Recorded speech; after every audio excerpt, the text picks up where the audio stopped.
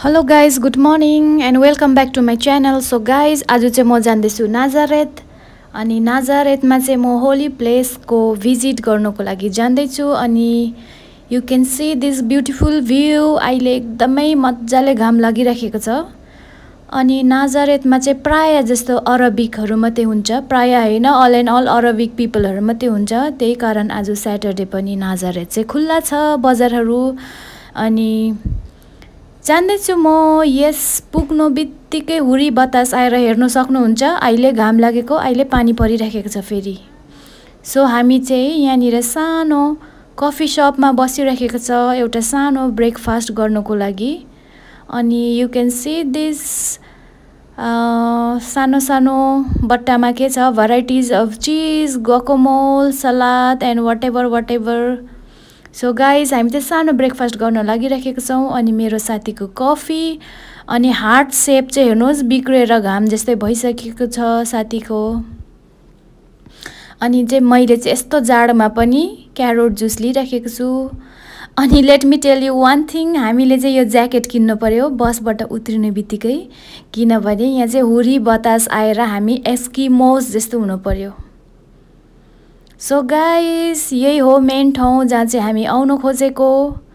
अनि यो ठाउँको नाम चाहिँ भनिन्छ मेरी वेल मेरी वेलको मतलब जब मेरी हुनुहुन्थ्यो मदर मेरी उहाँले चाहिँ यही कुवाबाट पानी भर्नुहुन्थ्यो अनि एक दिन उहाँले पानी भरेर जाँदै गर्दा अचानक एकजना मान्छे त्यहाँनिर आउनुभयो अनि भन्नुभयो मेरी तिमी चाहिँ अब प्रेग्नेन्ट हुन गइराखेको छौँ अनि तिम्रो कोखबाट चाहिँ एउटा नानी जन्मिन्छ छोरा जन्मिन्छ। त्यो चाहिँ गडको मेसेन्जर हो जसले चाहिँ संसारमा शान्ति फैलाउँछ अनि उहाँको नाम चाहिँ जिजस क्राइस्ट हुन्छ भनेर चाहिँ उहाँले भन्नुहुन्छ म्यारीलाई। अनि यो कुवा हो अहिले चाहिँ यसरी सुरक्षितसँगले वरिपरि बारिएर राखेको छ। हेर्नु सक्नुहुन्छ। मजाले बार लगाएको छ। त्यो समयमा चाहिँ खुल्ला थियो पानी थियो त्यो मुनि होइन? अहिले चाहिँ बार लगाइदिएको छ। यो नभत्कियोस् भनेर प्रोटेक्ट गरेर राख्नु भएको छ। हेर्नु सक्नुहुन्छ। यो भित्र चाहिँ एकदमै ड्राई छ। पानीहरू छैन अहिले। तर यो जुन चाहिँ सेप थियो पहिलाको त्यो सेपलाई चाहिँ नबिगार्नुको लागि मजाले प्रोटेक्सन गरेर बार लगाएर राख्नुभएको छ। अनि मदर मेरीले एक्सेप्ट गर्नुभयो म नानी अब जन्माउनु पर्ने रहेछ भनेर। अनि बादमा चाहिँ उहाँले यो प्रेडिक्सन भइसकेर बादमा चाहिँ उहाँले जोसेपलाई भेटाएको हो भनेर चाहिँ लेखिएको छ बाइबलमा अनि म चाहिँ तपाईँहरूलाई त्यो ठाउँ पुऱ्याउन जाँदैछु जहाँ चाहिँ पानी उम्रिरहेको छ अहिलेसम्म। हेर्नु सक्नुहुन्छ यो चर्च चाहिँ हो ग्रिकहरूको चर्च अर्थोडक्स होइन? अनि यहाँभित्र पसेर चाहिँ हामीले हेर्नु सक्छौँ पानी अहिलेसम्म त्यो पानी सुकेको छैन त्यो प्राचीन कालदेखि। अनि यहाँ मान्छेहरूको बिलिभ छ है? यहाँ पानी हेरेर पानी छुएर यो पानीले आफैलाई आफैमाथि नै लगाएर एउटा मेडिसिन जस्तो स्टाइलले चाहिँ मान्छेहरूले युज गर्नुहुन्छ सो होली वाटर। अनि क्यान्डल बालिएको छ। यहाँ हेर्नु सक्नुहुन्छ अर्थोडक्सको चर्च अनि यो हो त्यो पानी। यहाँ हेर्नुहोस् अझै पनि बगिरहेको छ यो पानी। अनि मान्छेहरूले पैसाहरू फ्याँकिरहेको छ विस गरेर। सो म पनि प्रे गर्दैछु मेरो लागि मेरो बोजूको लागि जो चाहिँ बिमार हुनुहुन्छ एकदमै। अनि हामी सानो फोटोसुट मेमोरिजको लागि हामी तिनजना साथीले। सो गाइज म पनि अब विस गर्न जाँदैछु। म पनि कोइन फ्याँक्नु जाँदैछु यो पानीमा। म क्रिस्चियन होइन तर I believe I respect every religion अनि मलाई एक्सप्लोर गर्न मनपर्छ।